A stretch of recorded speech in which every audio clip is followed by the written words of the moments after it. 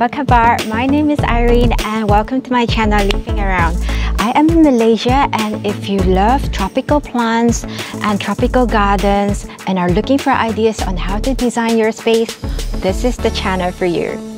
Are you running out of space for your plants? Or like you have this cluster of plant pots with like these undead plants that you don't know what to do about and they're just really unsightly like this corner of mine here. I've got the solution for us, a vertical garden wall. So when you've run out of space on the ground for planting, think about planting up the wall. I um, thought about this because I had so many philodendrons that needed climbing up and so many little pots of plants that I've just got nowhere to put. So I thought this is a good solution. And not only that, it can look really, really nice. I have seen a lot of vertical wall, especially in Singapore. Small place, nowhere to grow the plants, but up.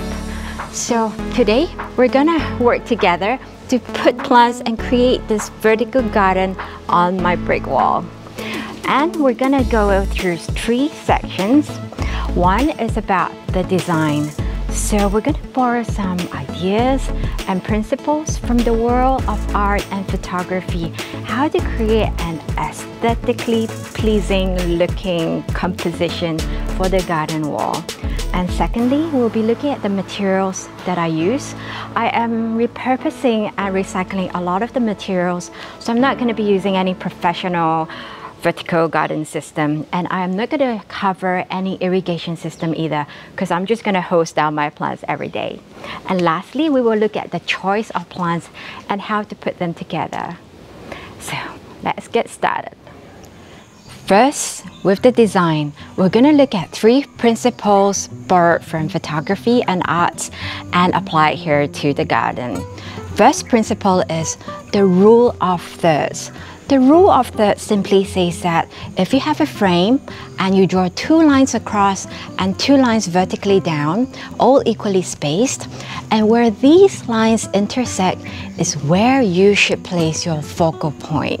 So it is suggesting that, contrary to popular belief, the focal point should always be in the middle, but rather don't do that, but try and place it a little bit off center at any one of these points.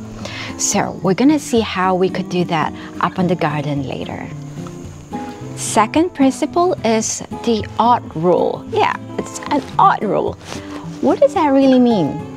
It means that in an image, the artist or the photographer always try to aim for an odd number of things. So in, instead of including, say, four items in the image, they would either have three instead of five.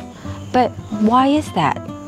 Well, it's a little hard to explain, but it seems that our brain is really hardworking and when it sees an even number of things, it tries to organize them into two different camps of equal amount of things. So then it, it makes our brain very busy in trying to process that. But when you have an odd number of things, the brain can't figure out how to divide that into two. So it sees it as a more unified form. So how, how do we apply this then to landscaping and in gardens? This means that maybe in the number of plants that you have, instead of having just two or four, try to cluster them in groups of trees or five. So let's try and see how we could do that on the wall up here third rule is about focal point and how it relates to the choice of colors and the choice of plants. The focal point is simply the thing that you want to highlight. And usually this is the brightest thing or the most colorful thing or most outstanding in terms of its texture when we talk about plants. What this means also is when you are trying to have a focal point, everything else around it shouldn't uh, fight too hard for attention because if we have too many, let's say, outstanding or showing plants close to each other, they're gonna be, they can look quite chaotic and messy because then the eye would be busy figuring out what to look at. So this is where we have and I have to moderate myself not to put all the nice showy plants up on the wall but also to have some let's say backup singers or backup dancers to help to bring that essence to, to give that emphasis to your main character. Materials So the grid that I put out with is this. It is actually something that was dug out from the ground because I hacked away some footpath to make more space on the ground for the plants. And then when they hacked it away, they found this foundation. So yeah, metal grid, which was rusted kind of. So I painted cement over it cement mixed with glue so that it sticks on.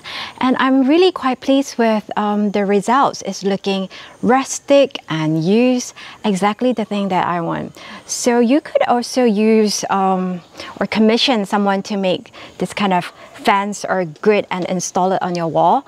I've also seen uh, the very popular pocket system for vertical walls, but I'm thinking I'm not going to use that because these pockets are kind of quite fixed. And if I do want to take out a plant, it's, it's not so easy. I have to remove the plant from the pocket. And the system that I'm going to use here, I'm just going to hang pots on it. So if I want to change something, I just take out the pot instead. Choice of pot. You know how much I love the black pot. I use it a lot for plants on the ground because it's a great camouflage and it blends in the background. Now for me though, this black pot isn't gonna work for this wall because it's it's kind of orangey and now it's just gonna pop out from the brick wall. So no to the black pot for this. And then this is the color of the pot you usually get at the nursery. And this is not bad. It really gels pretty well with the brick wall. However, it's still a little too new for me and too modern and I wanted something a bit more rugged to match the brick wall. So what I've done is I will wash this, have it cleaned up properly and then paint cement over it. So you get some cement and then mix it with some glue and mix it with water. I'm no expert in this area, but kind of when it's the right consistency, then you take a brush and then brush this pot, leave it to dry. And after it's dry, oh, and do not paint on the inside of the pot because cement is extremely alkaline. Your plant is not gonna like it. So leave the inside plastic. Just, just work on the outside. And when the cement is dry, um, this is what I did. I took some leftover olive green paint and then I sort of lightly dab this effect over it. So I've got one here that's done. So this is the effect that was achieved, kind of giving it a more rustic and even more aged look. This is totally unnecessary, but I'm a little OCD and so I've decided to go with it. And now, yeah, we have now a good looking rustic pot, which I think could blend very well with the background. And if it's, so, it's okay, I think if the cement comes off a little bit, uh, revealing the orange inside, even more better to camouflage with the brick wall. And now we take the wire and poke it through the pot. Oh, yeah, I forgot to tell you, you have to make sure your pot already has a couple of holes and if they don't, you just gotta drill it. And here. So then this wire, bent it, and then hang it on our metal grid later.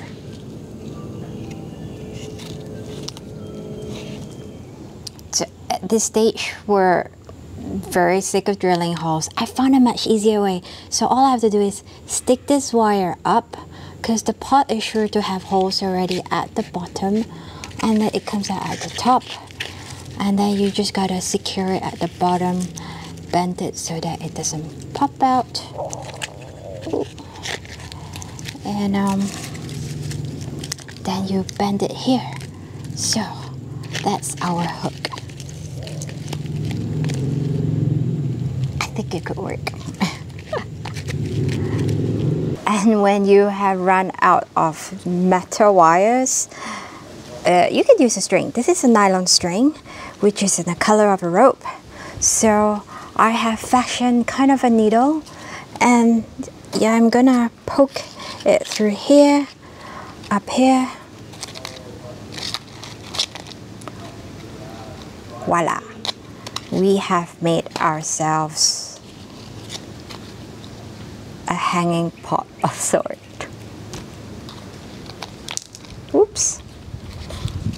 And now the fun bit, the plants. So I reached out to you guys last week about getting some ideas for what plants I should put up on the wall and many of you suggested ferns and bromeliads and also pothos.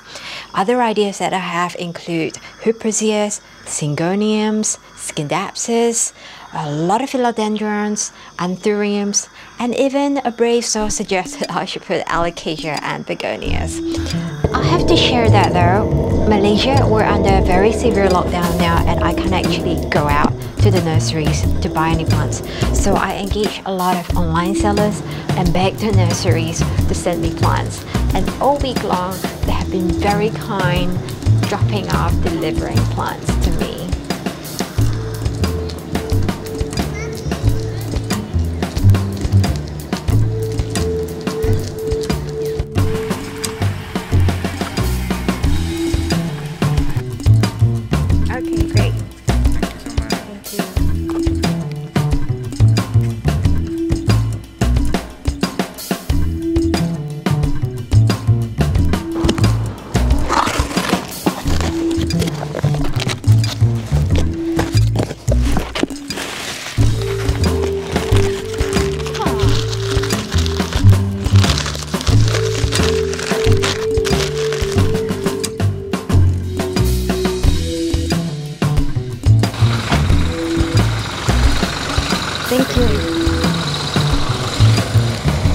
Actually while when we were filming the intro just now the delivery man for this came and I'm very excited because I think this should be my focal point plant. It looks like it's got blood splattered all around it so I thought it would be fun. So this will be one of my focal plants welcome to the orphanage cluster of my plants this is where I put my abandoned, unloved child. Um, so the vertical garden is a good opportunity to fish some of them out and give them a better home. So begonia, yeah, I think we could try that. Uh, Monstera Peru. Syngonium, certainly, they are really hardy and easy. I think that can go in the vertical garden. And, and this one, I don't know what it is. It's actually very special and unique. Oh, I just haven't found a good home for it, so yes. And oh, this fern, ferns are always good to go on the wall. So yeah, the garden wall is also one way to fish out plants that you have in ugly corners or in pots to give them a good home. And where else am I gonna get the plants? Well, you won't believe my good fortune. Yesterday, a garden angel came by and dropped off a whole wheelbarrow of plants. And not just any plants. Look at that. It's a huge philodendron leaf. And I think this is what they call the painted lady. A beautiful spiral fern, a red Congo, and many, many philodendrons that I don't know the names of. This one that reminds me of like a, a violin. And then this cute little tetrasperma. I think this is like the, the dwarf form. And then I can just show you because I don't know what are the names of these plants. But yeah, wow, so lucky. I mean, I'm really blessed. I never expected this. And to be honest, I'm truly overwhelmed. Really, really overwhelmed. So I'm very excited. I've got all my plants now. I have uh, rescued them from my own abandoned corner. And also I've been shopping online all week for more plants. And the deliveries and the last one, the bromeliad just came in. After you have all your plants, I suggest you lay them down on the ground to picture how you would like them to look on the wall so that you could think first and then do. This person once told me, don't think and do at the same time. Think and then do.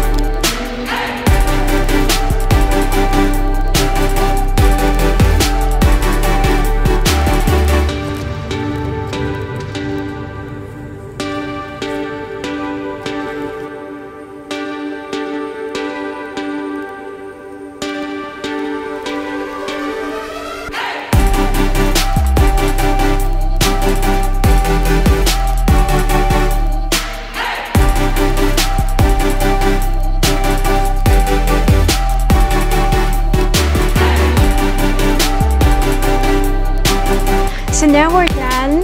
And in hindsight, I just want to share with you what I would have done differently. First, you know, all these cementing the pot, I think maybe that was a waste of effort because you can't really see the pots. So maybe you don't need to do that. Secondly, I bought this pot with the, the hook thing. I've just realized when I was doing this, um, the hook was just too narrow and I couldn't actually use it. So next time check and buy one before you buy so many. And what else? And yes, although you start out with a plan on where you want to put what, uh, you gotta kind of adjust and be versatile where you're at it. For example, this plant that I have bought, I bought it for the wall, but I couldn't figure out where it's suitable to go, so I didn't put it in. And where I found that things were lacking, then I just um, took in other plants as needed. Now let's take a look at how well I've incorporated the design rule that I was preaching. Number one, the rule of thirds. So this has been achieved with this focal point here, this, this things popping out here, which is very vivid. Up there, I tried to do that also, but it is less so. That plant did not pop out as much as I wanted to. Same here, try to balance out the pop of red with the ones here. I've used uh, begonia. Also didn't pop as much as I have hoped for, but nevertheless, this is the attempt. And second rule was the rule of threes, the odd rule, right? So here, coming closer. The rule of third here, I've done it with the bromeliads. So there's three here, one, two, three. Also with the ferns that kind of open up like that. There's one, two, and three here. And let's talk a little bit about choice of plants. You don't see a lot of philodendrons on the wall because I think they like to creep up. So I would rather um, put them on the ground. I started with putting some on the ground with the hope that they will eventually creep up the wall or maybe up a tree. And then also, um, I've only got one begonia. I was hesitating whether to add it because this is one wall which I'm kind of like gonna water every day or every other day. And I'm not sure if the begonia wants so much water. So I've just put one, the candy stripe one, because it's known to be also quite hardy and I, uh, let's see, I hope it survives the wall. Thank you very much for watching this video and I hope you really enjoy it and learn some tips and tricks on how to make a vertical wall. If you like this sort of content, do remember to subscribe and share with others. Until then, selamat tinggal. Bye-bye.